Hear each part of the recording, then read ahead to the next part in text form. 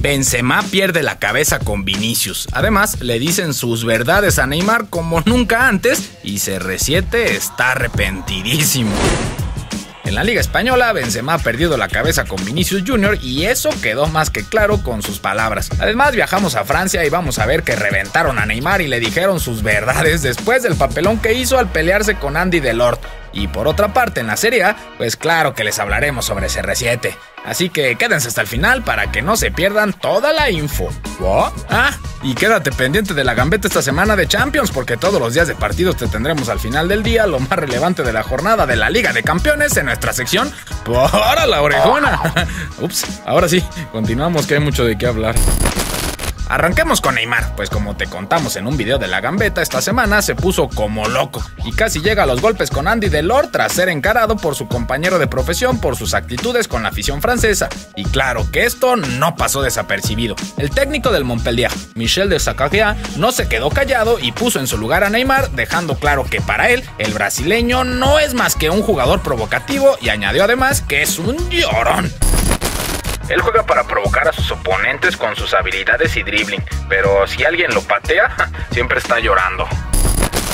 ¡Auch! Lo puso en su lugar con estas simples palabras y al parecer este técnico ya está harto de la actitud de Ney desde que llegó a Francia, aunque otro que está harto es Karim Benzema, pero harto de su compañero Vinicius Jr., pues no soporta que no pueda concluir las jugadas. Esto quedó claro en su partido contra el Español, donde Benzema no paraba de gritarle a su compañero, ¡Levanta la cabeza! Que fue captado en varias ocasiones por las cámaras del medio el golazo, y sin duda se pudo ver la frustración del gato porque el brasileño no sabe jugar en equipo. De acuerdo al portal Mundo Deportivo, Benzema ya no soporta que Vinicius juegue como si llevara seis balones de oro y tuviera que decidir él en cada jugada, además de que no respete las jerarquías del equipo. En pocas palabras, que juegue para él y no para el Madrid, y eso sin duda es un pecado para un equipo top. Ahora viajemos a la Serie A donde hay otra terrible frustración, la de Cristiano Ronaldo. Pues de acuerdo a varios medios, el futbolista está arrepentido de dejar el Madrid para irse al equipo italiano.